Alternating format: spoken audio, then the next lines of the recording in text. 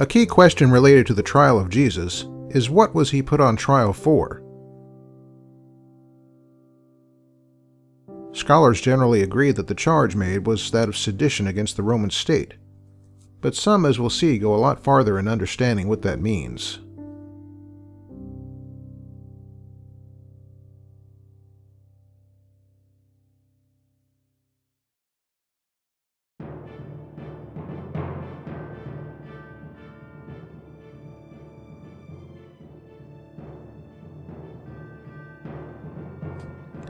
The first century had its own brand of what we now call terrorists.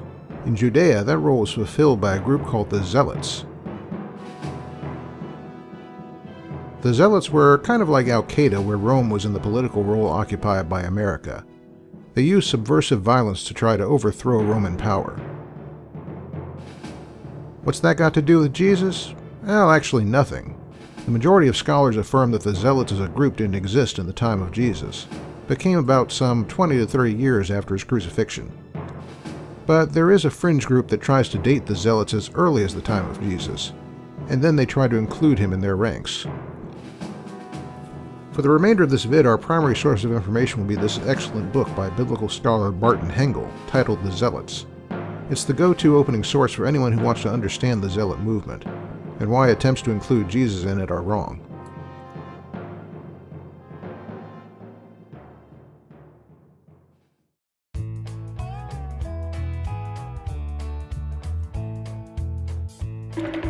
Okay, so we have someone who has some questions on this. Again.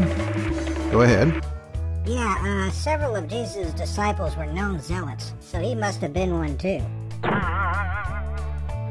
Yeah, okay, and since several of his disciples were fishermen, that means Jesus was Captain D, right? Don't get smart. The evidence is clear on this one. What about Simon the Zealot? Well, what about him? Here's the thing, folks. The word we translate zealot was the name of that terrorist group later on, true. But before that, it was also a word used to describe anyone who was zealous for religious practice.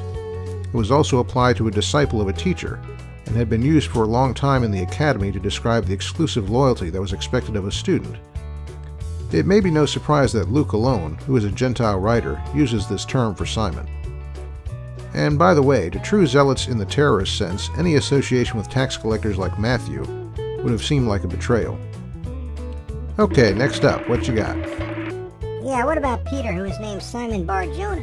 That sounds a lot like an Aramaic word that meant outlaw. Alright, look, as we know, the bar prefix means son of, so anyone with a father named Jonah had to withstand that sort of punning indignity, and it's useless to establish some sort of zealot connection. Even so, there's no guarantee that Bar Jonah means exclusively outlaw. In some later Jewish contexts, it simply means a bad, undisciplined person, it was also used at a very late period. We don't have any evidence it was used that way in Jesus' time.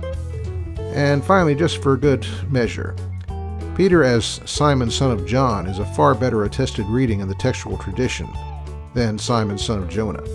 So that really kills that argument. Okay, what else? Called sons of thunder. That must mean they got mad a lot, which means they were probably zealots.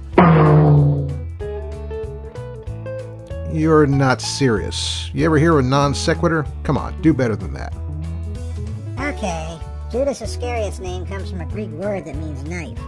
That same word was used to name another terrorist group, so he was probably one too.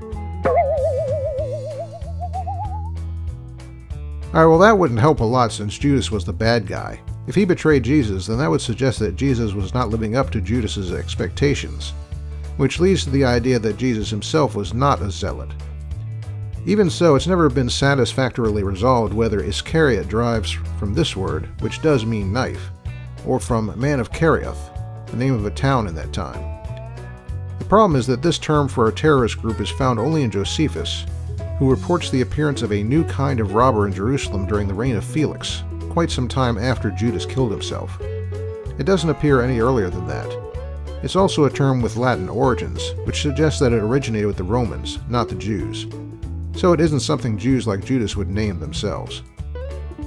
Anything else? Alright, one more. Uh, Jesus equipped his followers with swords because he anticipated trouble, so they must have been zealots.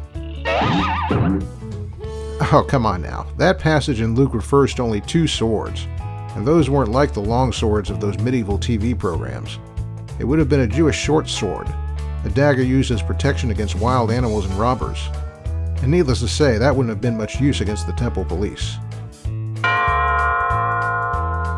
I don't know. Maybe he could have spread some butter with it and made them all die of high cholesterol.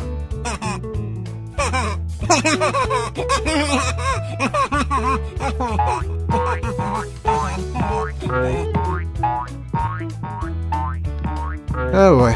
See you next time.